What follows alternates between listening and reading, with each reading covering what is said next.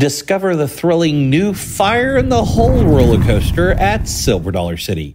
Join me for an exclusive behind the scenes look at this adrenaline pumping ride in Branson, Missouri. This is Chris with Branson's Best Shows. Silver Dollar City just announced the new groundbreaking $30 million Fire in the Hole indoor family roller coaster, the largest in the Midwest. Opening in spring of 2024, the highly anticipated attraction joins the park's lineup of amazing rides.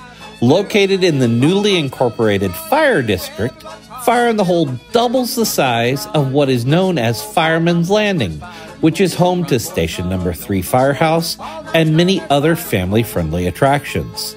In February of this year, Silver Dollar City announced the closing of the original Fire in the Hole. This ride had lasted 51 years and was in need of serious updating. Well, Silver Dollar City is doing just that by revealing this ride plus an additional $30 million in investments in new guest experiences and improvements.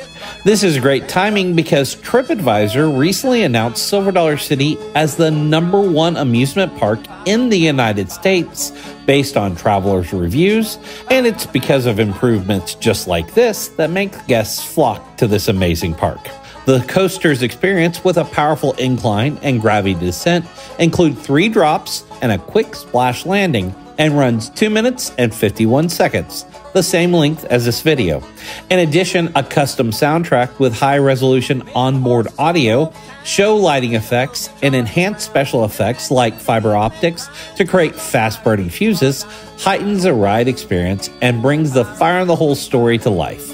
Nearly a third of a mile long track, this new ride is housed in a five story, temperature controlled building to ensure ridership regardless of the weather. True to Silver Dollar City's roots, the new ride storyline is steeped in authentic regional history, as the story is a fictional account of a real night in the Ozark Mountain history when the mining town of Marmaros was burned to the ground by the notorious vigilantes called the Bald Knobbers. Created for multiple generations, Fire in the Hole depicts the day when Silver Dollar City citizens of all ages are called to service to save their town. Now, Branson's Best Show will bring you a ride through video as soon as construction is ended and they let us sneak on the ride.